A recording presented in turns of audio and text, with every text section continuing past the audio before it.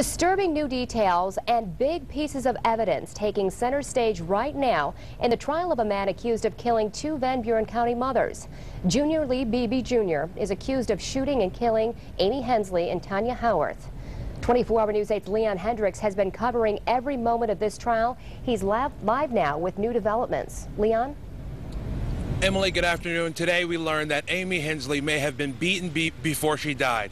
Karen Beebe, the suspect's mother, took the stand, and we saw a walkthrough of a huge mock-up of the scene of the shootings in court. Lots happening today in court, but first it was Karen Beebe on the stand for the second day. And the prosecutor clearly has questions about what she knew and when about what happened to those women.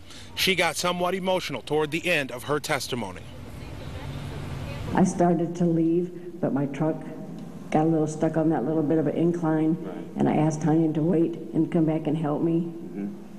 And so she helped, well, you actually ended up pushing it out. I but en- she ended helped. up, yes, she got in the truck to drive it because of her back, and I pushed the truck up the little bit of incline, and we got it to the road.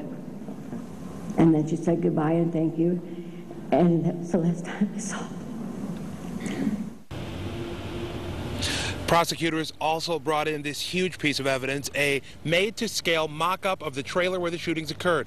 The prosecutor said he would use that to show that there's no way Beebe's story that he told police is true. The medical examiner, Stephen Cole, also took the stand and revealed that he thinks Henslee was beaten before she died. And are you able to draw any conclusions uh, from the nature of the wo- wounds uh, as to whether those occurred prior to or at the time of death? Those were prior to death, clearly, because they're very red and consistent with small amount of hemorrhage beneath them. Now the court is at lunch. What's been happening in the past few minutes is a bit of a back and forth. The prosecutor, the defense attorney, both going in there.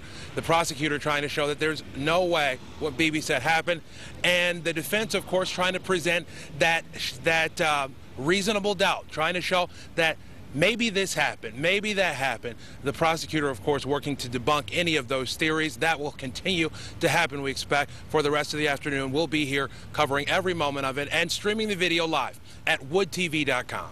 Reporting live outside of the Van Buren County Courthouse, Leon Hendricks, 24 Hour News 8.